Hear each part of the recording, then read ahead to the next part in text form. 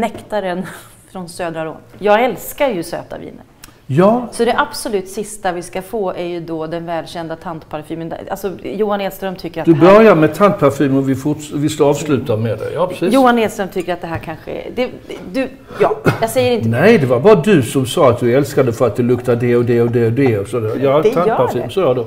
Det här, Eh. är, det här är då Muscat Bombe de Venise. Ja. Det är också från eh, Xavier, så det är Ja, det är samma det. producent. Och jag har, eh, som har jobbat mycket med choklad, jag är liksom uppvuxen, höll jag på att säga, på, på Bombe de Venise. Gjort på muskatdruvan, jättearomatiskt, jättekoncentrerat, en så kallad vin doux naturel. Vilket innebär att man tillsätter en jättestark spritkomponent, typ 95 procent. Ja, ja, ja. Och så stannar man... Du eh, dödar jäsningen ja. med sprit. Så Ja. 15 procent alkohol ska det vara. Och det ska vara minst 100 gram restsocker per liter. Jajamän. Det är reglerna. Och den här tror jag till och med lite mer. Ja, lite mer. Ja, precis. För det beror ju på hur mogna druvorna är det året. Mm. Så den kan vara 100, den kan vara 110, den kan vara 120.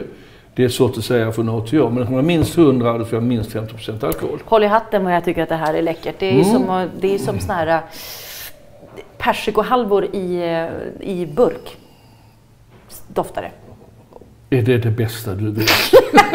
Nej, men det här är- kan vara lite det bästa jag vet. Men det är den här liksom konserverade persikodoften och så är det väldigt mycket fläder. Mm. Jag tror du har utvecklat din smak lite sedan du var barn.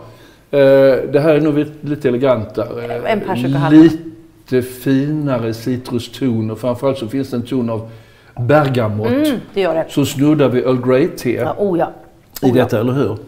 Eh, som jag tycker är väldigt rolig, som, som den här druvsorten eh, Muscat Alexandrin, eller Muscat Petit Grain, har i sig att den gör det. Va? Så att, ehm, Var väldigt kända de här vinerna i slutet på 1800-talet. ja. Så nu vill jag se en liten sån jättefina. revival. Nu är vi 100 dryga efter det, 150 år efter.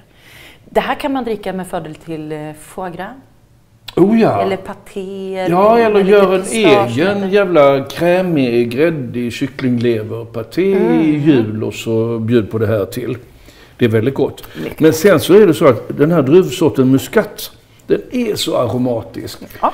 Så den klarar av nästan vilken dessert som helst. Mm. Man säger att oh, vad ska du dricka till den här glassen med, med jordgubbar och sådana saker. Oh, sautern. Det ska du inte alls göra för att eh, glassen kommer att döda sauternen. Ja.